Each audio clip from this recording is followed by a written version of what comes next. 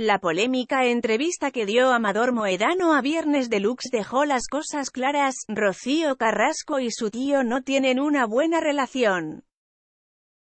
No es extraño, la hija de Rocío Jurado amenazó con publicar un fragmento del diario íntimo de su madre en el que develaba el lado más oscuro de Amador Moedano, quien además de su hermano, fue su manager. Se habla de que Amador pudo haber estafado a Rocío Jurado. Y Carrasco quiere venganza. Pero eso no es todo. La segunda entrega de Rocío, Contar la verdad para seguir viva ya tiene título y contenido. Se llamará en el nombre de Rocío y promete cobrarse las deudas pendientes de quien fuera la más grande artista española. En la bolsa entraría Amador Moedano, quien ya está esbozando su defensa legal y mediática.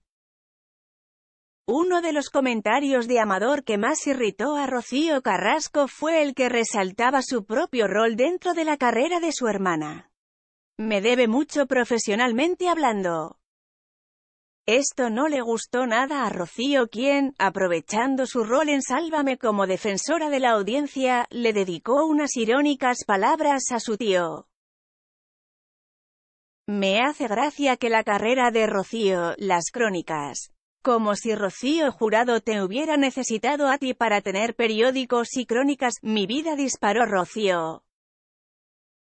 Prefirió no dar más detalles todo será mostrado en la segunda temporada de su docu-serie. Luego, agregó, me parece muy bien que no me eche de menos. Yo no le echo de menos tampoco.